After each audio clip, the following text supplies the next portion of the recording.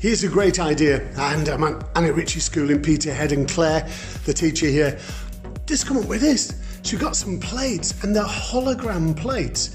So all you do, just put some Christmas lights in front of them, as you can see she's done here, and it looks absolutely gorgeous.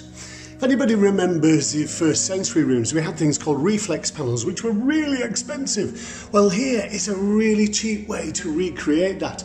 These plates are absolutely gorgeous and they came from a supermarket. We've got to look out for them because they are wonderful. So, really nice idea just to exaggerate the light, which is great for a lot of our visual learners. So, thanks to Anna Ritchie School, thanks to Claire. This is a lovely, lovely little sensory environment. Brilliant.